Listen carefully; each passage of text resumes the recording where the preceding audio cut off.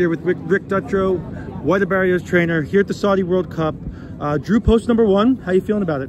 I feel fine. I feel fine about it. I mean, like I've been saying, we have a very quick horse, very nimble horse, very handy horse, and he is determined to win. He does not like to get beat, and same way with the jock. So they're going to figure a way out.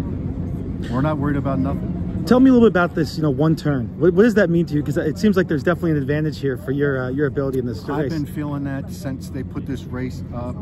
I just, you know, most American horses, when, when, when they go mile and an eighth around one turn, which happens at Belmont, you know, uh, our is just, you know, he, he can get seven eighths and 22. He can get a mile and 33 around one turn. So we're not, we think that we have an advantage.